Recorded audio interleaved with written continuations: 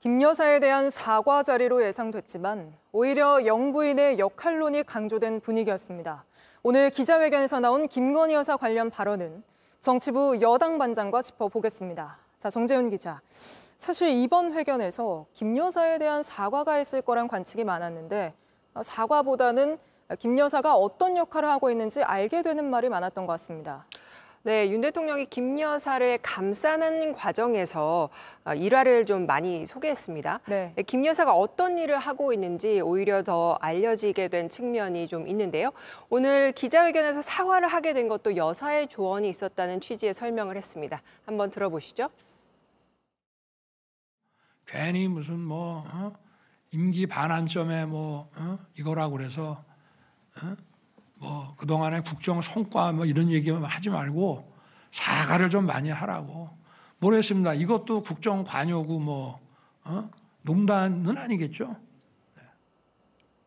네, 이 밖에 김 여사가 회의 때 대통령이 참모들한테 야단 많이 친다는 말이 있던데 좀 부드럽게 하셔라. 이런 조언을 했다는 말도 했고요. 네. 또김 여사가 대선 전에 윤 대통령의 휴대폰에 온 메시지들에 직접 답을 하면서 유권자 관리를 했다는 취지로 하나의 일화를 공개하기도 했습니다. 그리고 부인은 대통령과 함께 선거도 치르고 대통령을 도와야 하는 입장이다라고 하거나 유경수 여사를 언급하는 등 김 여사 문제 관련해서 사과하는 자리가 될 거다 이런 관측이 많았지만 사실상 여사의 역할을 공식화한 거 아니냐 이런 반응이 나오고 있습니다. 네, 오늘 유경수 여사도 언급을 했습니다. 근데 사실 이 국민의힘 한동훈 대표가 공개적으로 요구했던 것들은 사실상 모두 거절된 거 아닙니까? 그렇게 볼 수 있을 것 같습니다. 지난 4일 국민의힘 최고위원회에서 한동훈 대표가 공개적으로 좀 요구한 이 사안들이 있습니다. 크게 다섯 가지 정도로 나눌 수 있을 것 같은데요. 네. 하나씩 좀 따져보겠습니다.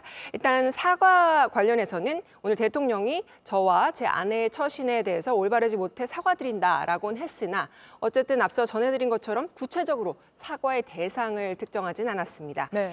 그리고 인적 개편 관련해서는 즉 김건희 여사 라인 이에 대해서 구체적 조치를 언급하는 대신에 원론적으로 말썽 피우면 조치하겠다. 라는 취지로 답을 했고요. 개각에 대해서는 인재풀을 검증하고 있다라고 했습니다. 네. 그리고 김 여사 대외 활동에 대해서는 꼭 필요한 것 빼곤 중단하겠다라고는 했지만 어쨌든 사실상 중단해 왔다라는 점을 좀 강조했습니다. 그리고 특별감찰관 임명은 국회로 공을 돌렸습니다. 사실상 네. 한 대표의 요구가 거절이 된 셈인데 그나마 오늘 유일하게 밝힌 조치라고 하면 제2 부속실 출범인데 오늘 실장을 발령냈다라고 공개했습니다. 네, 그리고 또 KBS 당시 박장범 앵커와 대담을 했을 때도 부부싸움 얘기가 나와서 영부인이 명품백 받은 사건을 너무 가볍게 만드는 거 아니냐 이런 비판이 나왔었는데 오늘 또 부부싸움 얘기가 나왔습니다. 그렇습니다. 김 여사의 신중한 처신을 위해 어떻게 할 거냐 이런 질문에 대한 답이었는데요. 한번 들어보시죠. 앞으로 부부싸움을 좀 많이 해야 될 것 같습니다. 네. 대외 활동이야 이제 제 2부속실을 통해서 이렇게 하면 되고 어, 떤 면에서 보면은 좀 순진한 면도 있고 제가 이거 저 제 아내라고 이렇게 변명하는 것이 아니라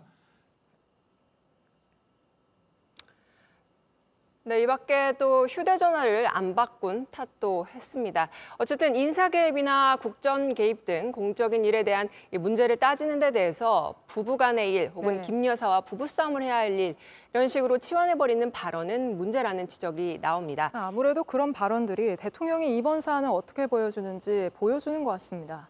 네, 맞습니다. 예, 마지막으로 야당에서도 그런 지적이 나왔는데요. 해법이 부부싸움과 휴대폰 교체냐 이런 말까지 나왔습니다. 알겠습니다. 김 여사 관련 논란은 정재윤 여당 반장과 짚어봤습니다. JTBC 뉴스를 시청해 주셔서 고맙습니다. 저희는 저녁 6시 50분 뉴스룸에서 뵙겠습니다.